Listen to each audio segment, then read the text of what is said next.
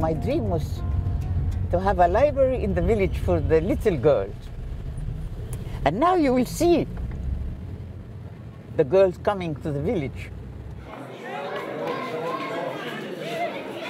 اسأليهم برضه خلاص ماشي حضرتك عشان هم جايين يقروا حاجات جديدة ايوه ماشي حضرتك القديم والجديد المكتبة دي لازم تتملي كتب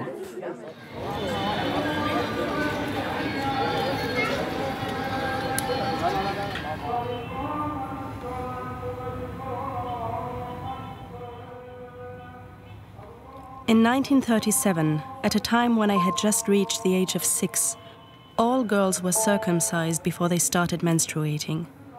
Not a single girl, whether from the city or the village, from a rich or poor family, escaped. Four women cornered me and pinned me down by my hands and feet as though crucifying me like the Messiah by hammering nails through his hands and feet. Since I was a child, that deep wound left in my body has never healed. But the deeper wound has been the one left in my spirit, in my soul.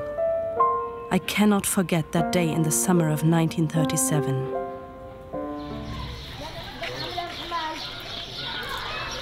If you don't have democracy starting from birth, that children are educated, equality, and justice, and freedom, and dignity from childhood, you cannot have democracy under the parliament. Because democracy is a way of life, it's not a decision.